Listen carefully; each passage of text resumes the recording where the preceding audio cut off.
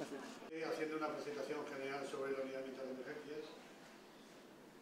Veremos las fotografías de cómo es eso eh, eh, y veremos... Eh,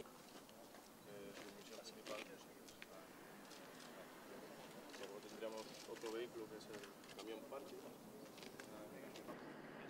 El 93% de los incendios son evitables y por eso yo traslado desde aquí ese mensaje eh, fundamental de aplauso, pero aplauso y reconocimiento público a todos los que de una u otra manera intervienen en la extinción de los eh, incendios y condena eh, absoluta a quienes ponen en riesgo no solamente nuestro patrimonio natural, sino los bienes personales, sino lo más preciado que tenemos, que es la vida humana.